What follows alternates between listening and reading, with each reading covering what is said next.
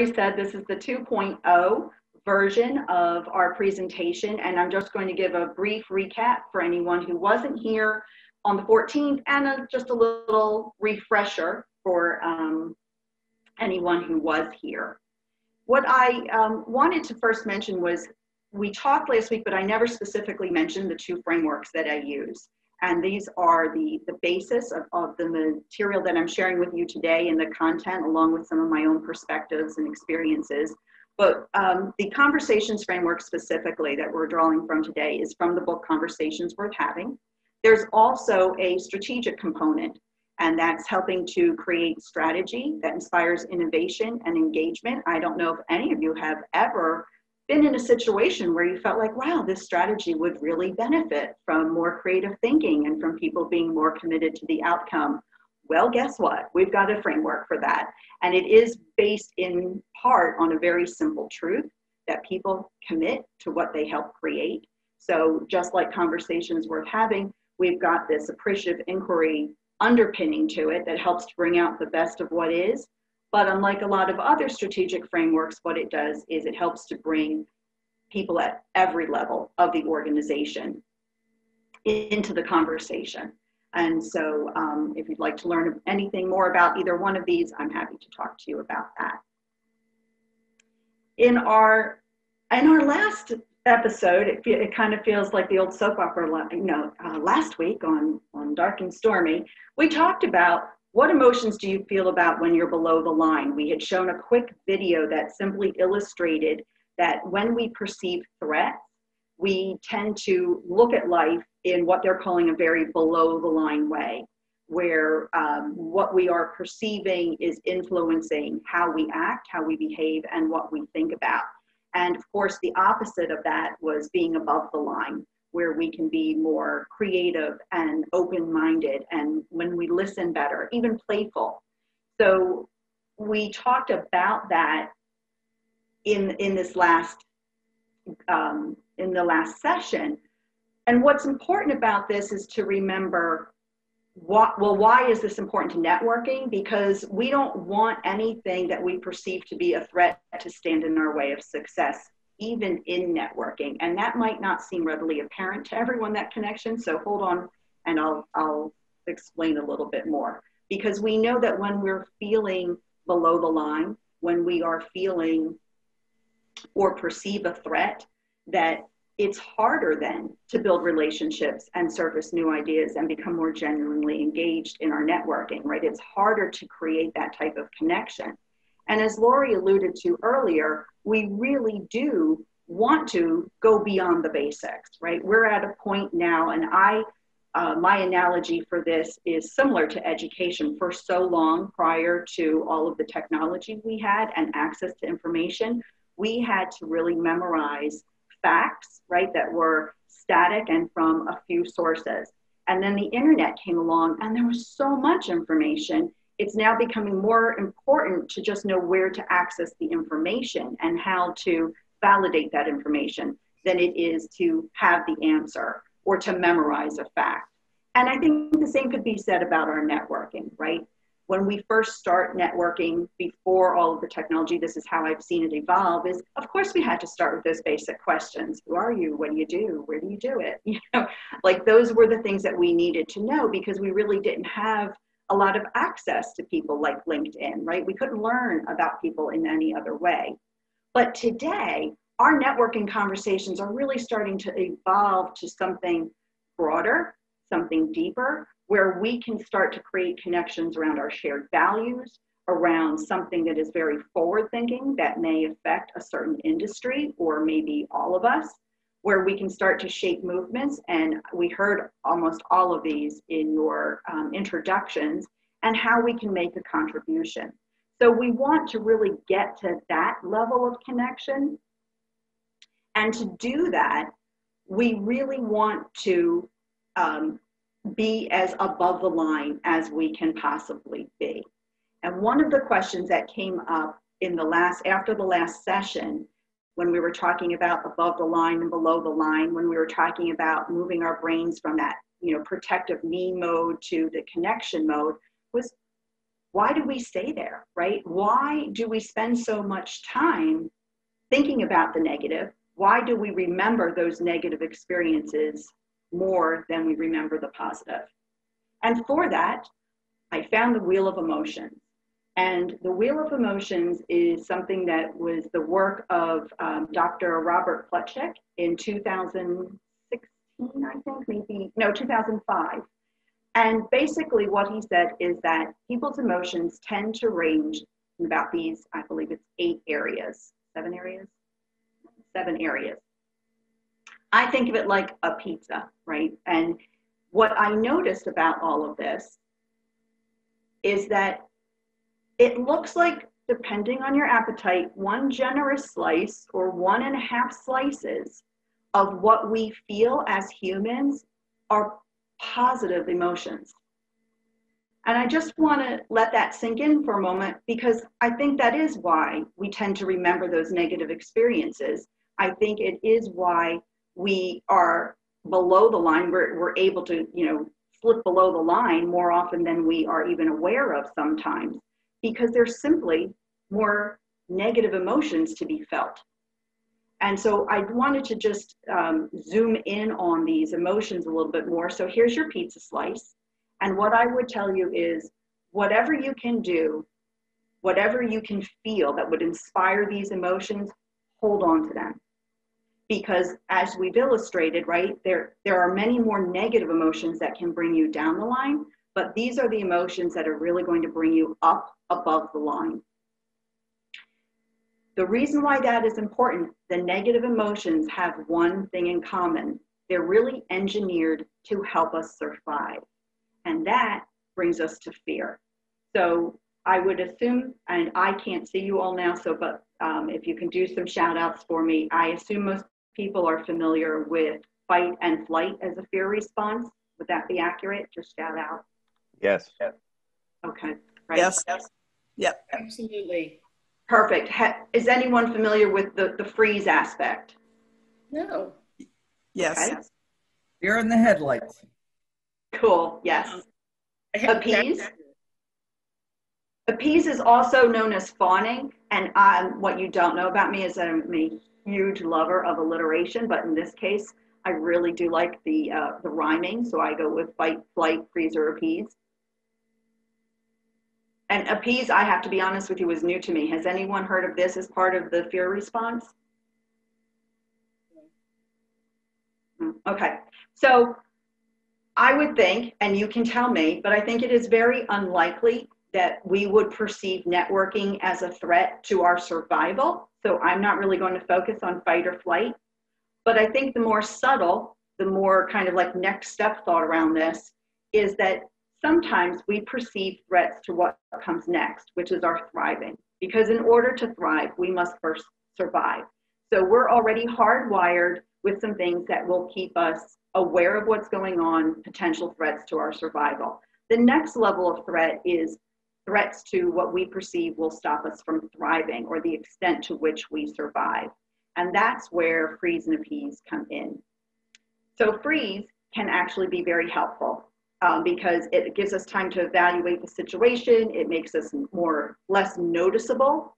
And early on, we also focus on escape routes. So um, again, I just transported myself to a, a, very large networking room where you know you kind of are looking around and going, now where's the doors? Where's the you know where's the restroom? You kind of are looking for that escape route because what if this group isn't the right group for me, right? And then what happens is that over time in the freeze response, what you start to learn is that um, becoming rather unresponsive might be helpful in making us feel less bad if we can't escape. So that's kind of the practical application of it in terms of networking.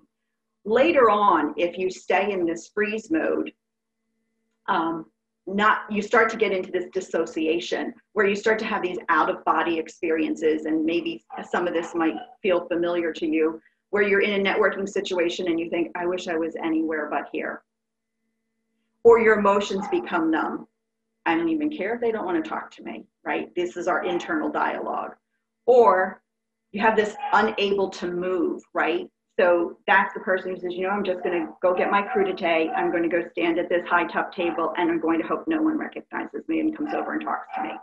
So that's how the freeze, um, the freeze response impacts what we do when we're networking.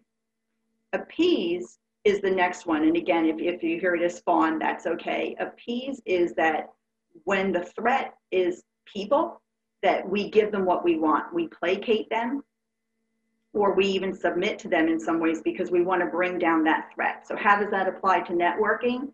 Well, for me, it's the person who comes up to you, you know, you kind of have um, a, a, plan for your networking that what you're going to go into and there's someone who comes up to you and just won't let you away from the conversation. And you keep thinking okay i'm just going to talk with this person for five more minutes and then i'm going to move on. And then it ends up being almost the entire time. And before you know it the event is over and you're driving home or you're walking out the door and someone else tells you oh my goodness this was so great i met so many wonderful people and you're already starting to kind of feel that regret or you're driving home in the car and you realize that you might have missed an opportunity that you just really were hoping for, but you felt like you really needed to appease.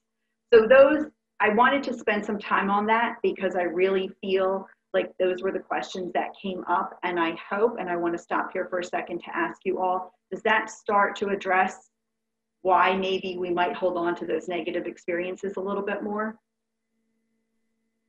I, I think sometimes it's also habit. Um, I know mm-hmm. I used to be in retailing and, and you'd go up to people and say, May I help you? And we just say no without even thinking about it because there's right. this fear of, or not just this routine behavior of, now this person's not going to leave me alone until I actually buy something. I don't know what I'm looking for. So I think sometimes when we get involved in conversations, we, we think we know the ending before we get there. Absolutely. Absolutely. And, and as leaders, I believe that we feel today, you know, we're expected to have all the answers. That's what we were taught, right? In a command and control type of hierarchy, it is about having all of the answers. Has anyone had one of these experiences in networking? Like looking back on it now where you think, oh, wow, I didn't realize I was in, in fear response mode. Well, is the idea knowing that these are the sort of four stages or four potential stages that then you'd be able to deal with it better? Is that where you're headed? I'm hoping because that's definitely right. Ha- having the awareness is crucial, Morris. Right. So, um, and what struck me when I first encountered the wheel of emotions was like I didn't think of doubt or skepticism as something that would indicate a fear response and typically you think of it as fight or flight. And as I learned a couple of years ago about freeze and appease, and I realized, oh, just like that wheel of emotions was so exquisitely splintered into specific feelings, there are so many phases of freeze and appease that we might not be aware of. So, of the first point is really, yes, be aware of it. Like, oh, do I feel a little below the line? And we said in our last conversation, when you feel bad, then um, you're probably below the line. But we're also, after the awareness, we need a tool, right? So it's great that we're we know we're where we are, but how can we change the change the shift? How can we signal to our brain and to the people that we're talking to, like, it's okay, we're safe. Now let's get to the good conversations. Because it would seem like in networking, as in most of life, fight or flight is really not, those are not really the options. Right. I mean, and so the freeze and appease seem like, you know, that's what we do instead is, hey, there's a strange situation. Let me figure out how to fit in. Let me appease. Mm-hmm. and so then maybe you're not being yourself and all the other things that you're talking about. Absolutely. That makes sense.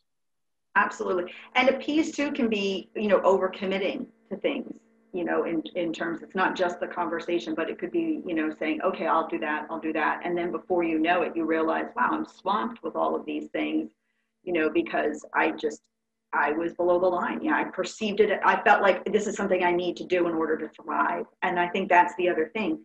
Just that's why I didn't spend any time on fight or flight because I think that unlikely I certainly hope not, but unlikely you're going to encounter a situation where you really will be compelled to an altercation with someone or that you will literally run out of the room. Um, but it is more likely that you're going to have this freeze or appease response. And I think just knowing the subtleties of that is really important when we think about how can we move past those. Any questions here on any of this? The wheel of emotions? Please, somebody talk to me about the wheel of emotions. Because when I saw that there are several versions of that, and when I saw there's one that actually includes love, which I didn't include on this one because we're talking about um, business networking, but there is a slice on the wheel that, um, just go back to that for a second. There is a slice on the wheel that has loving right here.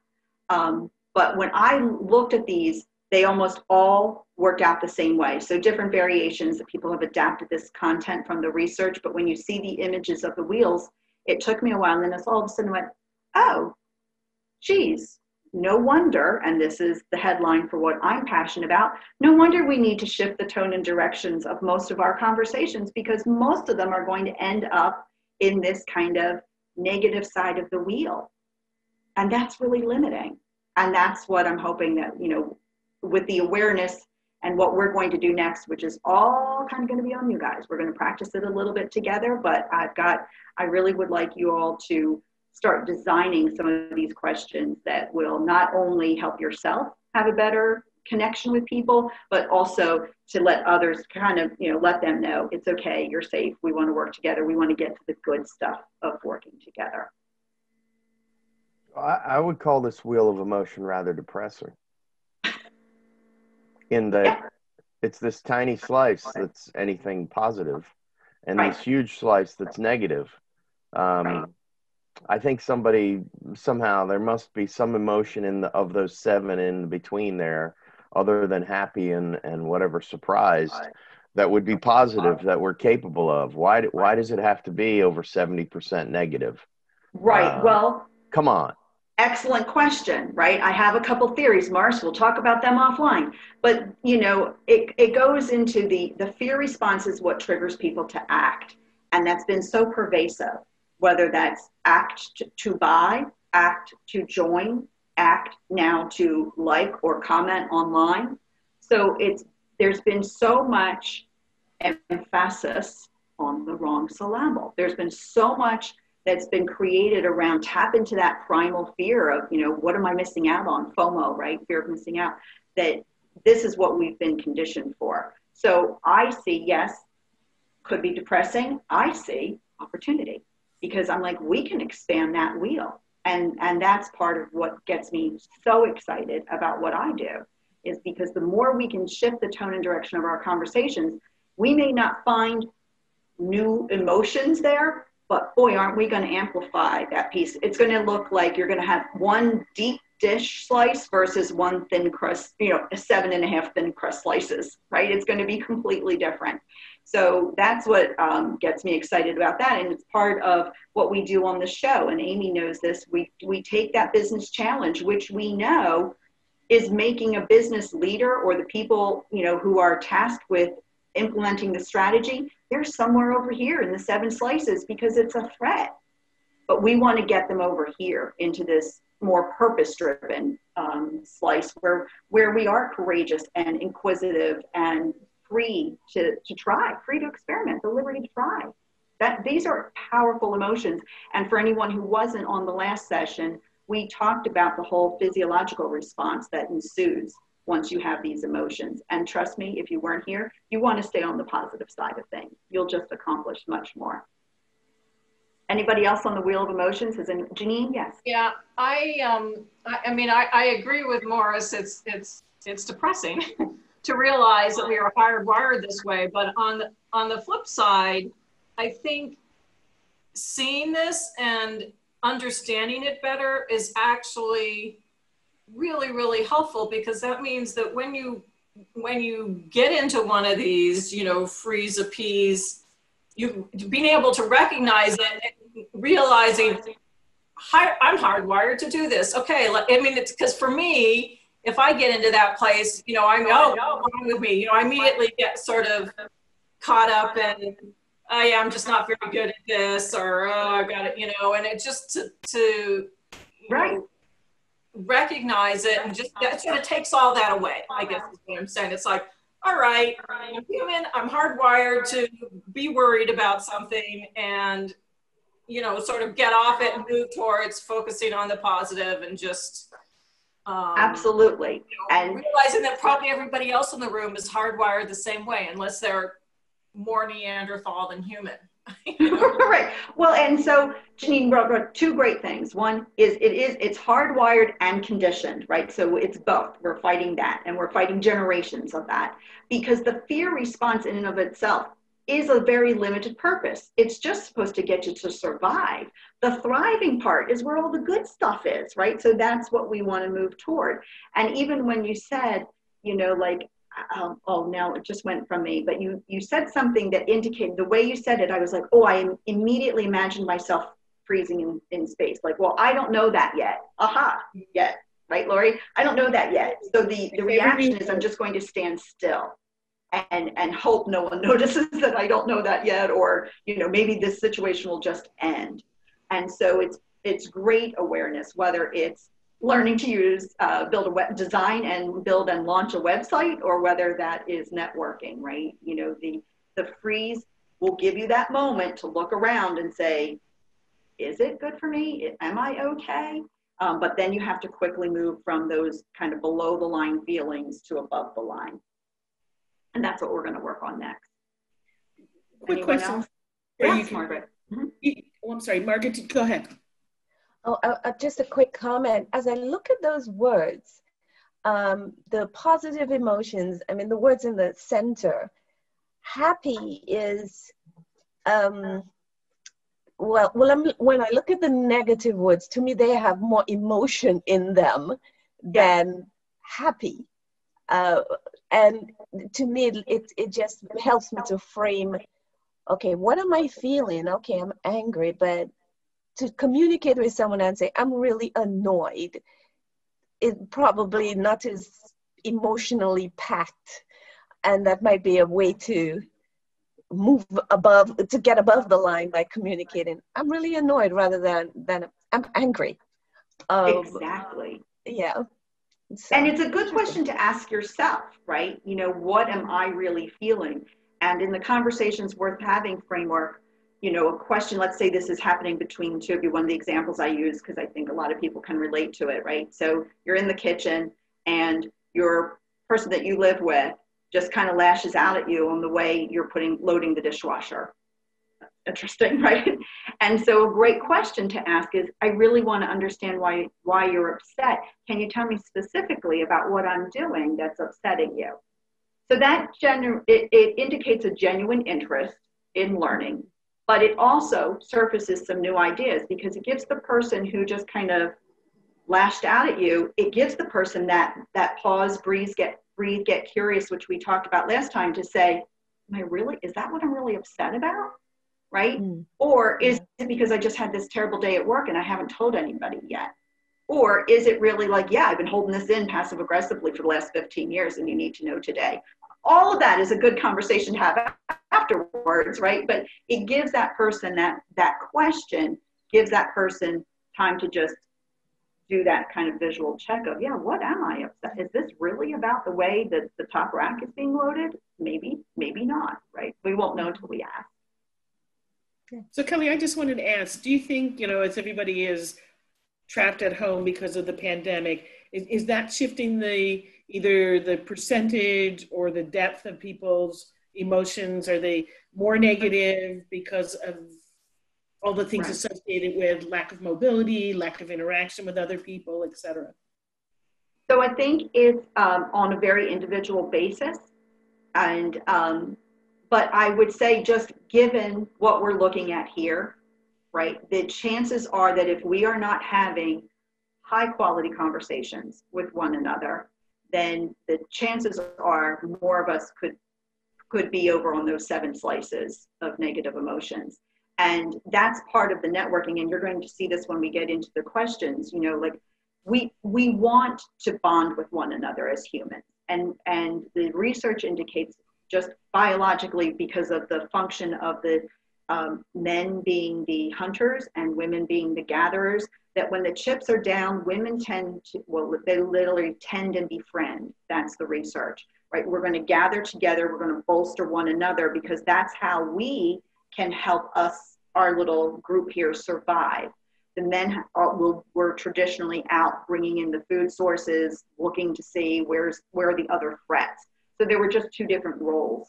Um, but again, this is in no way, shape, or form to um, understate the real trauma that people are experiencing right now. But just in the in the context of having of your question, you have people working from home, I think it just highlights even more the need to have a conversation that really is focusing on the best of what is and helping people in that dialogue find ways to build on that which is not to say you shouldn't check in with somebody and say how, how are you doing? Right? Because that's that's a different conversation. I'm not a psychologist but you know i know from this aspect of it going you know talking to somebody and go oh, it's really tough isn't it? Right? Like that's a tend to befriend tendency that we have. But is that something that will help move yourself and this person forward or above the line however you like to think about it? Good everyone so are you now, did I sufficiently give you enough time to warm up for asking, practicing generative questions? Because now you all have the awareness. Now you know there's a slice and a half or one generous slice of positive emotions out there just waiting for you and the people you want to share it with. So how do we get there? And this is pretty much where we left off. And the last one, we started to talk about generative questions the term most people aren't familiar with. So I like to just say there are questions that generate possibilities.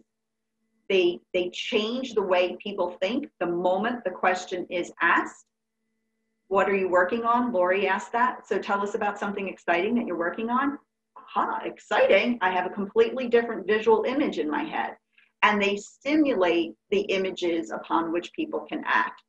Join me about this. Recall a time when something went well for you. Oh, yes, I remember before I worked from home and this is what I did and it really got me through that time, right? So these are the things that will bring people forward.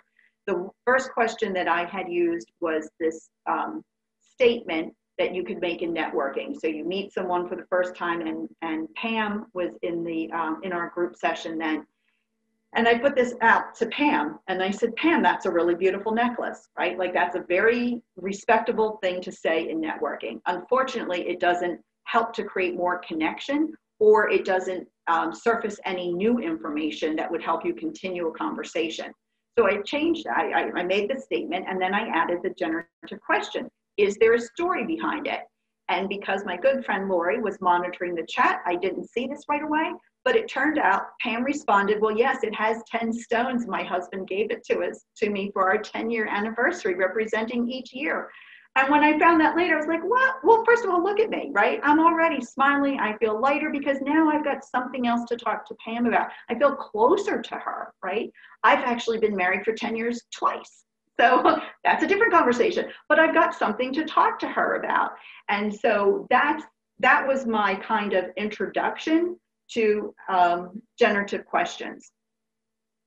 So I'm just going to hide this camel for one second here while you all warm up because here's what we're going to do now. And I am just going to even, um, I think I'm going to stop sharing for a second. Are you all seeing me again? Lovely, lovely. Okay, so I actually put together some exercises for you.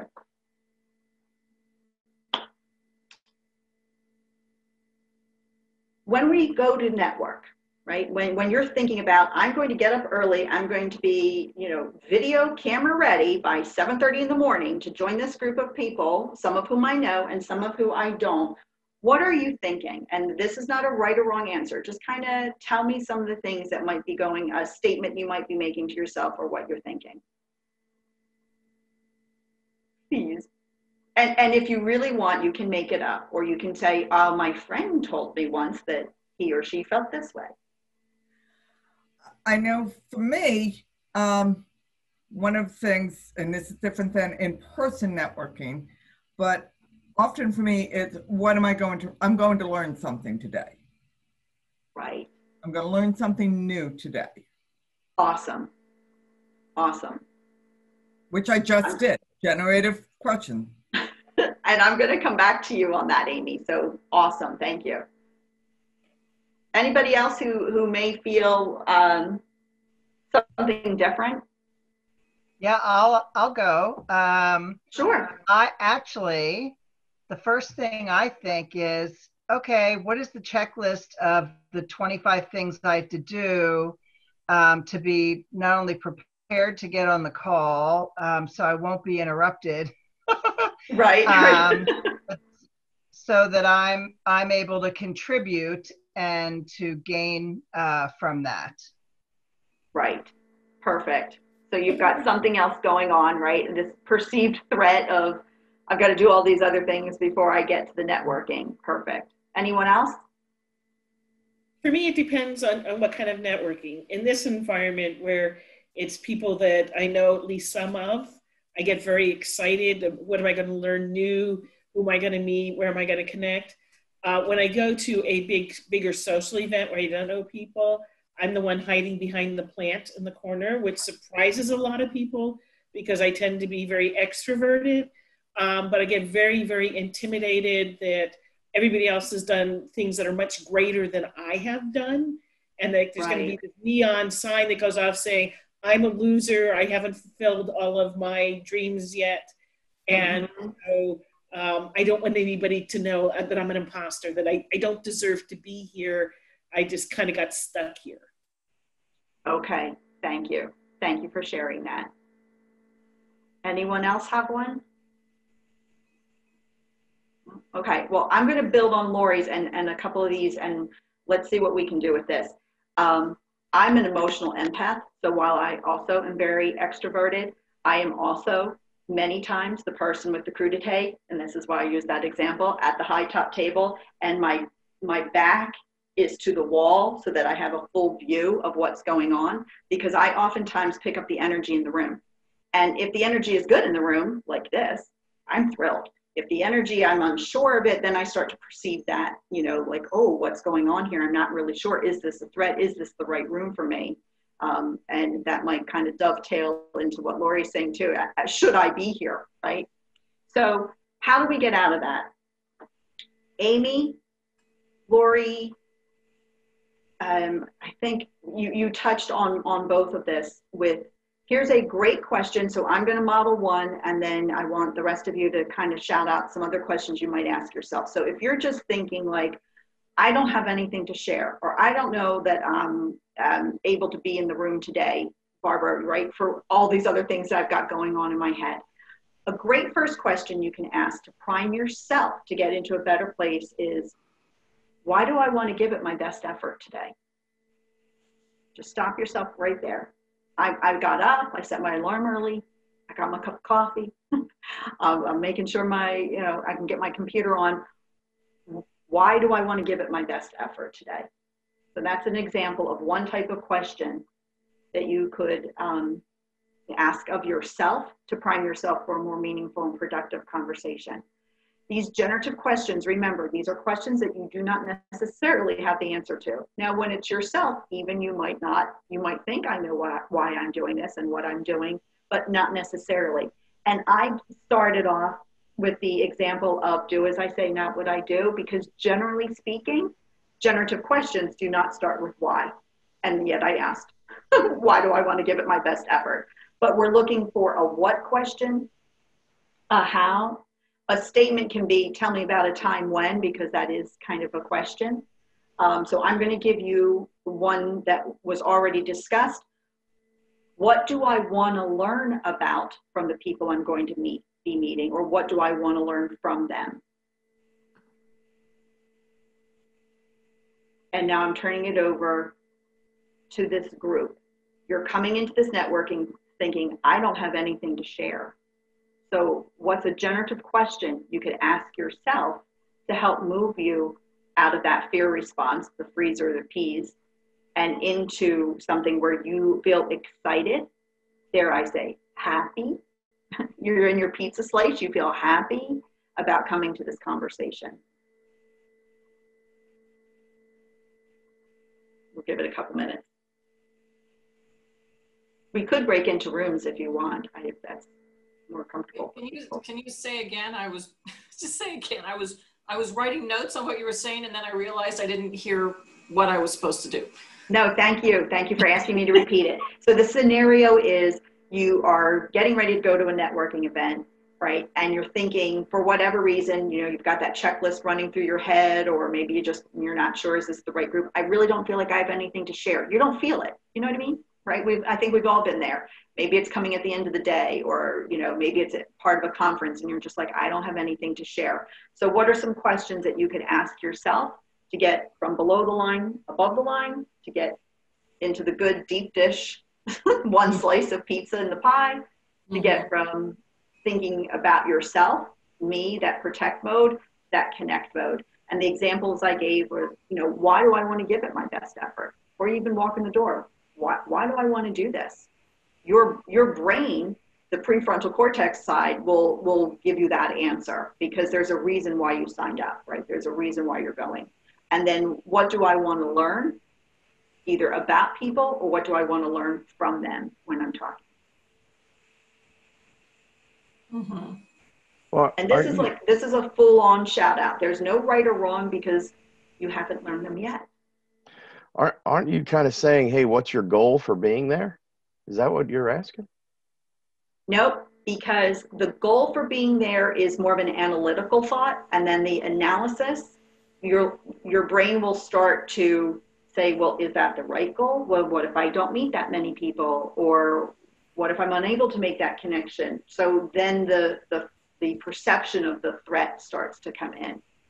This is just saying what, what is the best that could happen from this networking situation? Kelly, does it have to start with what? Because I, I go into a lot of these with the thought of, you know, who am I going to meet today that I want to connect with after the webinar? right um, because there was there i either perceived a connection or i thought there was something really interesting like i would like to follow up with howard because i really um, uh, got excited was hearing him tell his story and talking about turnarounds and change and so forth and i just have to say kelly that i don't know if it's just me but you look like diane keaton and so i just keep staring at your face is it only me? No, she does. You're right. She looks like Diane. Okay. Thank you. It's a little distracting. I keep thinking of all the movies you've been in. Congratulations. Thank you. Thank you very much. And I'm not wearing my hat, but you know, I do love to wear pants. I seldom wear a dress. So maybe we're onto something there. you have a Halloween costume for life. I do. I love this. I love it. April Fool's Day, maybe I'll come in in full Diane Keaton. Mm-hmm. Well, Barbara, though, you touched on something that could be a question, right? And here's the the statement works, but the question you're going to engage in a little dialogue with yourself, right? So you said you got really excited to hear what Howard talked about. Why why not ask yourself, what's the potential that I could get really excited about talking to somebody today, and it was a complete surprise to me. And Morris, that goes back to the goal question if it's the goals, you're limiting, like, I want to talk to people for this specific reason because it's tied to this goal, as opposed to, I may just engage in a conversation with somebody. It seems serendipitous, right? But I'm going to learn something that is really going to excite me. And I couldn't have thought about that before I got into the room if I'm thinking about goals and like a, a strategic plan. And I'm not saying that you shouldn't, just in the context of having these more meaningful, productive conversations. Of course, when you decide what networking you're going to, that's part of a larger plan, right? I'm going to join this group and that group. I'm going to go to this event, right? So that's there, but it doesn't drive the thinking of the conversation that you're having with yourself before you go into the room. Barbara, does that work for you? Asking that type of question, like just formalizing it in your head and saying, I wonder because they're right you're having conversation i wonder what who am I going to meet that's just going to give me some type of really ex- surprising conversation? And I'm going to be really excited about it because what you've just done is prime your brain for that, right? And then there's another part of appreciative inquiry that is the anticipatory principle. And it says, as many of us know in other ways, that what we anticipate will happen happens. What we happens. anticipate that we'll see, we see. So mm-hmm. what you anticipate is you're going to meet somebody who's really interesting, has got this really cool story to tell you. And well, guess what? You're going to end up hearing that story in that room if there's one to be had. Mm-hmm. Great, thank you. Uh, sure. Barbara, uh, this is Howard. I just sent you via the chat room my uh, email address. Great, thank you. and Howard, our, our homes look suspiciously um, familiar. I thought you were standing downstairs in my family room. I was like, how did Howard get here? well, you, you're Kelly. You're seeing what you want to see. That's right. maybe, maybe you really asked me to come right over. That's right. That's right. So okay. So here, here again. You're going into the room. I really don't feel like I have anything to share. What are some questions that you could ask yourself to, to prime that brain, to get it feeling playful and inquisitive and competent and all of those other happy emotions? Well, I think, Kelly, to your above the line and below the line is um, maybe change the mindset. I go in with, you know, what can I share that will be helpful to someone else? that I don't know yet what they're doing as opposed to what's missing, what, what do I bring? So that right. it, it takes it from the negative to the positive of being defeatist before I even get there. And you already did this in our session today. And so I want to show that because this is something that, of course, we rely on people like Laurie who have these fabulous facilitation, bring people togetherness tools, right? Because that's very genuine. Why wouldn't you ask yourself, what's my proudest achievement over the last year or two? Something that I'll like to share because chances are I'm going to be called on to talk or make an introduction, right? So it's great that Laurie's asked us that when we like, what are you excited about working on? But why don't you ask yourself that? You know, maybe you're getting ready, you're in the mirror, you're driving over, or you're rushing around. It's, it's build in Barbara that extra maybe 30 seconds, um, you know, just to say I'm going to just sit, pause, breathe, and just get a little curious. You know, what is my proudest accomplishment over the last year or two? Because guess what? There is one. There's probably more than one. And there's going to be one that you just feel compelled to share with this group. I've asked people, um, and it kind of goes back to Lori, uh, which is what is one of the best things that's happened during this pandemic? Yes. So, again, with it's one thing that we all have in common right now, no matter what we're doing on Zoom, which is, you know, so it, it is that shift, but it's something that, um, to your point, it's an achievement. Yes. So it was something that was unexpected and everything else. And it is something that, you know, okay, that has been a wonderful thing that has happened. You know, Absolutely. And, and you can think of it either in personal or in business as well. And I want to freeze there for a second. Thank you so much, Amy. And I want to ask everyone else when Amy asked that, when she said, What's the positive thing that happened in the pandemic? Who immediately had a picture in their mind's eye of something positive that happened? Just raise your hand. Right? Yep. Anybody want to shout one out? I'm going to shout one out. Like, family, I never knew you could cook so many days in a row and my cooking's gotten better because of it right? Now my husband's an excellent cook and but even we had my stepson quarantining with us for a while my daughter lives here they were making food. We did like uh, chopped meets iron chef. We had these cooking competitions one week you know because we just got creative with it so that's mine. Shout out. Tell me something positive that happened during this pandemic for you.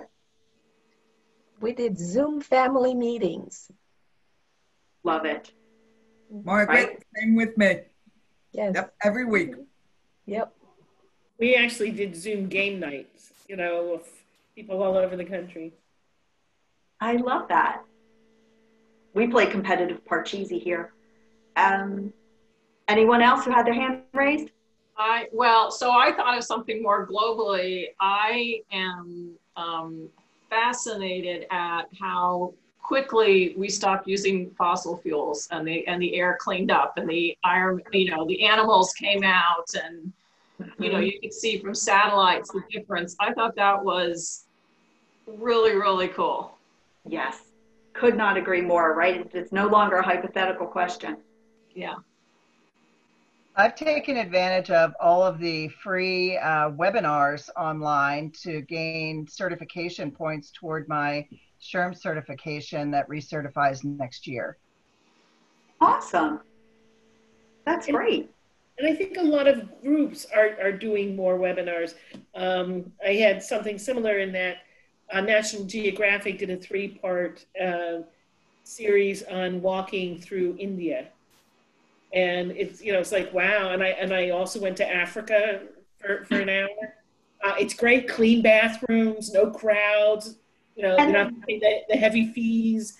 Um, it was it was wonderful. Isn't that a fun way to connect with people? What did you do during the pandemic? Well, I went to India and Africa, right? Like now, you, now you've got their attention, right? They're they're going to learn something about you they didn't know before. That's awesome. And so, when you're in a group like this, then um, I'll I'll change the question up a little bit. When you're in a group, it's rather intimate some of you already know one another. This is a small group like this as opposed to the big, you know, 500 person reception at a conference or something that you might be going to. Um, then I, what question could you ask? Because of course I want to give you the answer because I want to help you all so much. But you know, what question would you ask yourself to prime your brain for here are my peeps, right? Here are people I know and love professionally, and um, how am I going to relate to them today, right? Like maybe I feel like hmm, I, I know what they do, right? Like I know it all. Not in terms of I know it all, but like I know them, and I don't think I have any questions to ask. How could you kind of reframe that in your brain um, and ask yourself ask yourself a question that might get you better prepared to relate to others, to relate to others differently than you have before. I think, you know, some of the questions. Um, how about what, what can I share about my? I missed the end of that. What can I share? Oh, what can I share about um, myself uh, today with the group that would be interesting that they may not know? Exactly. Yep. And you could flip that also or extend that to what what assumptions am I making about what I think people do? So one of the things that I had uh, Charlie Timmons uh, did for me was a, a 360, and you had a list of questions that you could pick for people to answer. And one of them was, you know, what kind of appliance would I be? And and um, it was it was very, I think, informative for where other people are coming from. You know, because right. it was, you know, uh, clearly anonymous. Like, okay, somebody thought I was a blender, somebody thought I was a food processor, and, and trying to say, where's that coming from? What what is it about me that right. you know, resonated? Um, the other question was, you know, what kind of dog? And, right. and again, it's like where, where are people putting their emphasis? You know, and it was it was extremely interesting. Whether or not somebody else would get something out of it, I don't know, but but it was for me. Right. So if you could apply that to others, right? This what I hear in that is you had some new insight about yourself so, how could you get some new insight into other people? What questions might you ask about that? And I think that's where the assumptions come in. I think it's easy to say, oh, I know what Amy does, right? CFO, accounting. Do I? Do I have any idea what's going on in Amy's world right now as we see not only, you know, we've got the pandemic and lockdown, but we've got so many other issues and what's going on in Amy's world. What's different about Amy's professional world today that I just made some assumption I know what she does, and um, how can I learn about that from her? What would be a question that because you are a group that have worked together, you do kind of know some of what you do, then do two of you want to kind of role play this a little bit? Somebody say, This is what I do, and someone else ask a, a new and different type of a question around what you think you know about what, what that person does?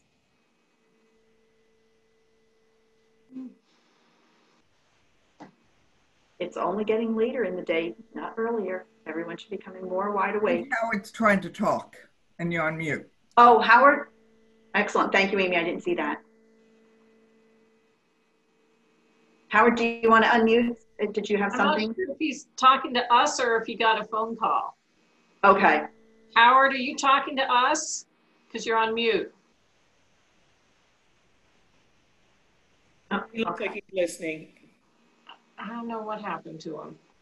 So, so Amy, can you tell me something about what a CFO does that people would be surprised to learn about? You're on mute. No, I'm on mute. Say that again, please. Sure. Uh, what can you share with me about what you do as a CFO that would be a surprise to me? Um, you know, as, as an HR person, I see CFOs as not giving me the money I need to take care of the people that I want to take care of. So tell me, what, what don't I understand or what, what do you do that I would be really surprised about? I am the person who keeps you out of jail and also your cheerleader. I love that. Now you've got the, go ahead, Lori. I was going to say, um, can you tell me more how you're my cheerleader when, when I think I ask for money and you go, no, no, no. That's a, that's a great example, right? You know, because now Lori, in her asking that question and Amy's incredibly fun response, so thank you for that, right? Visual images, I keep you out of jail. Oh, okay. And I'm your cheerleader, right? So the the uh, disconnect between those things uh, make it very humorous. And now Lori's got something, she's got a visual image to go on that's going to it's already challenged her assumption because she thought maybe she knew what you did and now she had learned this new thing. Maybe she thought you knew you kept people out of jail but wait how are you a cheerleader? So the asking a question like that is is going to again it shifts the tone and direction of your conversations and you have to be able to prime your own brain to say how can i challenge these assumptions about people? And this you know it is a little bit of work whether it's the five minutes before we start here or when we can get back into person, you're driving over, you have to just kind of think about these questions. What is stimulating you intellectually around this, or what are you naturally curious about? And I think of, uh, the other shoe on that foot is, am I ready to listen? Because asking the great questions is one part of it. And I do hope you all have me back for deep listening with Kelly Stewart. But um, doing that active listening is really important. And how can you get your brain ready to listen? Well, clearly, if you are feeling negative emotions, it's going to be much harder for you to get into deep listening. So there's the headline, but of course, there's more to it than that. And so, how do you get into that frame of mind? Am I ready to listen? And I will tell you, it is easier when you make this type of connection with people. When they've caught it's the novelty. As humans, we are very novelty seeking people in some ways, um, especially in this culture where we came over and said, oh, you know, we're going to we're going to make this happen. We're going to do this whole brand new form of government, right? So there's a novelty seekingness to us that says we want to be surprised and delighted. Oh, a happy emotion, right? Two happy emotions. So anytime that we can activate that within ourselves, we're going to be better able to listen as well another uh, couple of questions, if you want to just take some of these down as notes, because I want to move into the next part, which is what questions do we ask of others, right? And we're, we're starting to shift there. But if you are thinking, I don't really have enough to share, I'm not sure I'm prepared for this networking, here are some questions you can ask yourself around what's my bigger why? why am I here? My purpose. What do I value? In our everyday rush, we sometimes forget to pause, breathe, and get curious, which was a big part of our first session on the 14th around what do I value? Like, what do I value about this group? As and, and is it different? Amy, uh, you mentioned Rotary, right? Is this group different from Rotary? Are there different things? So, what do you value about this connection that you're going to be making? Uh, what am I thinking about when I think about the future? Well, there's an interesting question to ask yourself. Perchance, I can tell from this group already, some great conversations are going to come from that because if the conversation lulls, which of course it never will any longer for you, but if the conversation lulls, this is something that you can, you know, uh, bring up as a topic. There's a lot to talk about in the future. Uh, what movements, this one's just too easy. What movements am I excited to shape? And this goes back to the connections that we want to create with people. These are the shared values, right? This is the forward thinking thought. This is the the way we contribute. And this is a group that has a lot of ways that they want to contribute.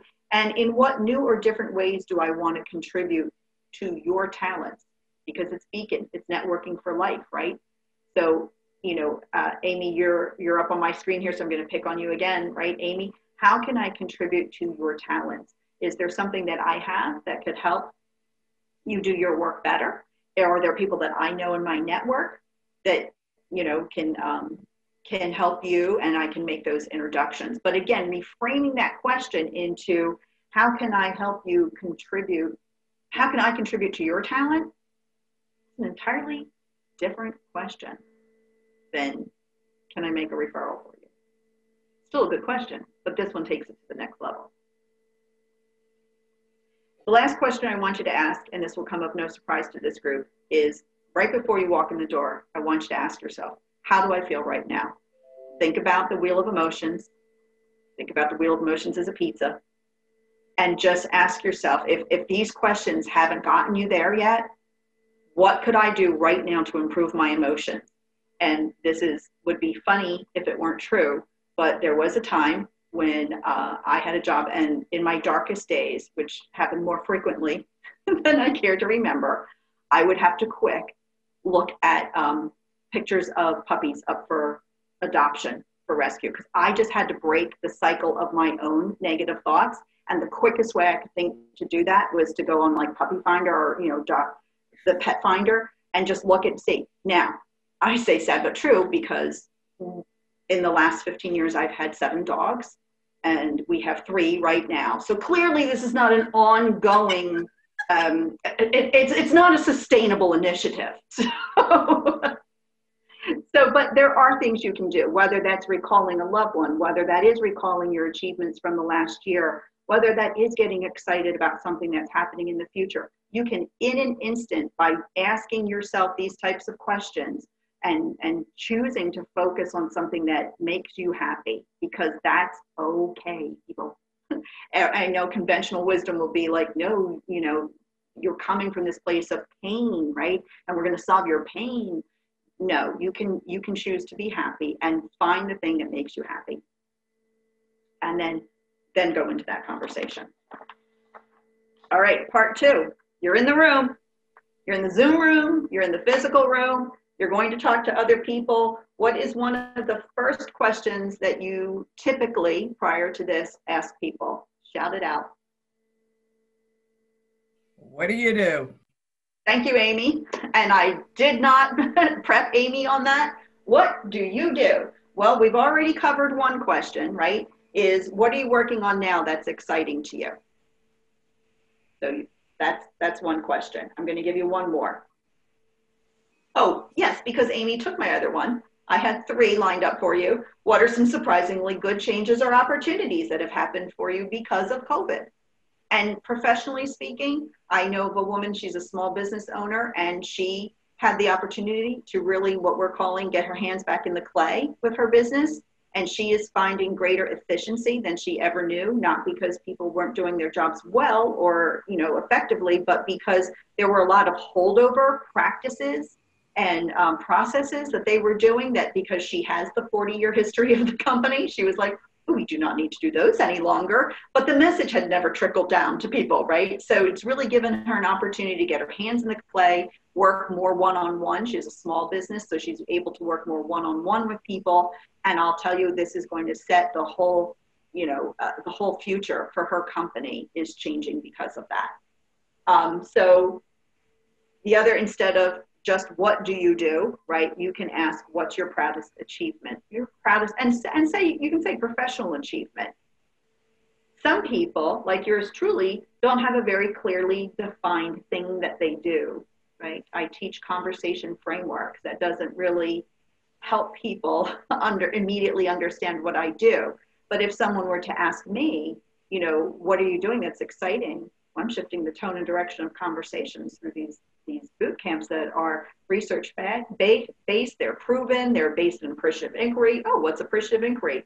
Glad you asked, right? So we can get into those conversations that I wouldn't get into if I just said to someone, I um, facilitate strategic planning workshops and I teach boot camps. So what all now will you ask instead of what do you do? What other questions do you think you could ask someone? And I've got one, two, three, four, five. Is it fair to ask, uh, you know, how can I help you? Absolutely. Or that's kind of a, uh, you know. Absolutely. Seems sort of wussy or no how can i help you right strategic alliances as we look at how businesses are changing and going into this this next evolution uh, the fourth industrial revolution right where more technology and uh, more digital things are taking over i think it would be very wise to start to brainstorm ideas on how might we pull our resources together how might we redefine our services and you can't get there if you don't start by asking like how might I help you? Like, how might we work this together? It's the beginning of the conversation with some additional context around it.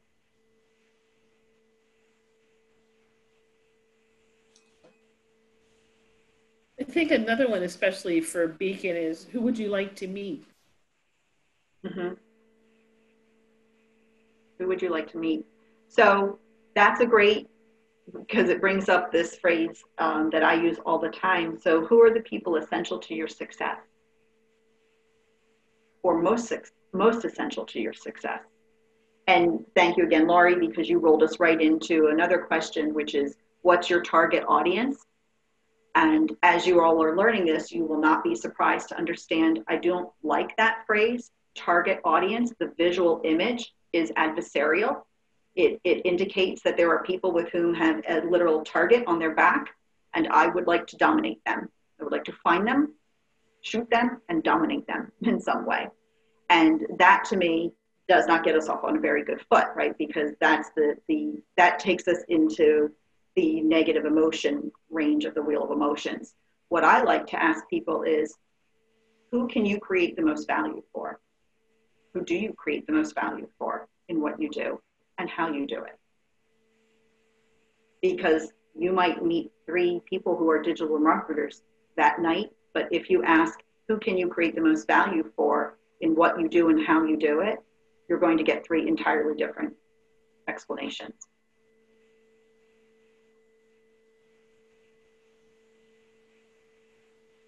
So on that, so now we're not asking who's your target audience, right? We're asking who do you create the most value for? what else might we want to know if we were pausing, breathing, and getting curious about that, what they're doing, what else what might we ask that would surface some new information about them? What's your dream vision and what success looks like? Yep. Right? Because don't can't we all fix our own industries? Don't we all have the solution? Excellent could ask, um, what are you learning? And that might be professional or personal. Yes. What are you learning? I love that question. And bonus, because it might also benefit you, right? what are you learning? Oh, I didn't even know that technology exists. What? I've been doing it the, the, the slow way. This is great. Can you tell me more about it? I love that. And I think associated with that is what was most surprising, you know, just like, but just learning, but like what what took you by surprise? Like, oh, I didn't know, I didn't know anything about Nollywood. oh. Right, right. What what what's been your wow? Right. What mm what what wowed you this year? in the last couple of years. We don't have to just limit it to this past year, but we can talk about things prior to COVID. What gets you excited about the future? Mm-hmm. Right now, we're being conditioned to not be excited about anything. So, what gets you excited about the future? I have another question if you want to really understand what people are doing and, and you're asking and, and you want to deepen that conversation and they tell you, well, this is what I do, this is how I do it, you know, in, in unique and inspiring ways. How do you know you're succeeding? Because hmm. that is going to surface their case study, the, the client they want to tell you the most about, because that's when it really worked for them. And in that, you're going to get a much better idea of who their best client is because they're going to tell you a lot of details about that. Howard, that was a great story that you shared this morning, right? I mean, like that was it. Like I got a much better idea, and it was a, a very compelling story, right? But you know, just all of the the detail that went into that. That's awesome. And as people, we don't generally, you know, kind of just like, oh yeah, let me whip out my case studies and start going over them with you. There, there's an invitation for that. Lori made the invitation for us to do that today right? So that's what you're doing. You're inviting people to share. And when you ask, how do you know you're succeeding? And I'm sure you all, I, will someone give me some, somebody tell me, answer that question for me, whoever wants to. Tell me how you're succeeding. I'm actually going to talk about that because Morris last week, Morris and um, Mark Cassidy won professional services um, seminar, and they talked about the lifetime optimizing the lifetime customer value, if I've got the title right. right. And it was specifically, how do you know you're succeeding with that client? Right. And different ways to do that. So mm-hmm. if any of you haven't, this is a plug for, for uh, I can't talk this morning, I don't have enough coffee.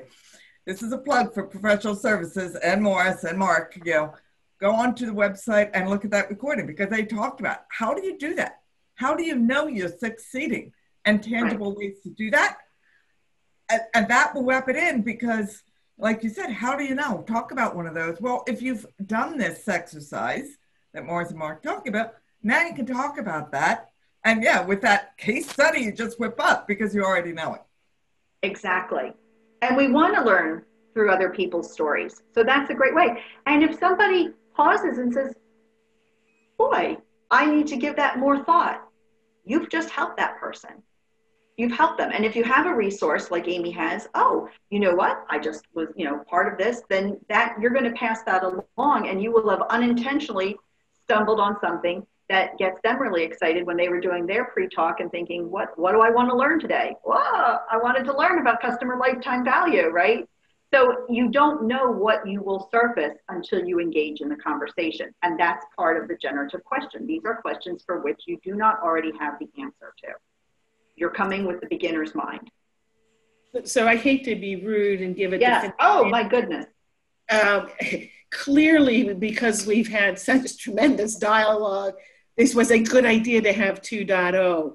Uh, we only have four minutes left out of out of our two hours together this morning and I, and I want to be very very sympathetic and and uh, appreciative and conscious of other people's commitments um, because I have the sneaking suspicion that we are an extremely shy group who has nothing to offer each other and the reason we brought Kelly in was to give us hope that we can grow to this level of being able to have an active and engaged conversation.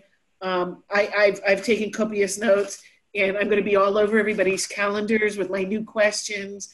Um, and, and I would love to have Kelly actually do a wrap up, but I don't know that we have time. So, um, you know, you do have her contact information. We'll make sure we get it out to you. Please, um, yes. Mm-hmm. Thank you very, very much for coming back for 2.0 or for those who didn't have a chance to be part of 1.0. My um, pleasure. We, we, we, really, really appreciate, uh, and, and we don't have to wait till yet to take advantage of what you've shared with us today. Um, I think a great launch for, I realize I didn't say that this was Beacon's newest group, New Jersey South. um, so, so thank you. Please do keep in touch with each other, reach out to each other, continue this questioning. Beacon is the premier executive networking organization serving the Mid Atlantic region. To learn more, go to beacon4life.org.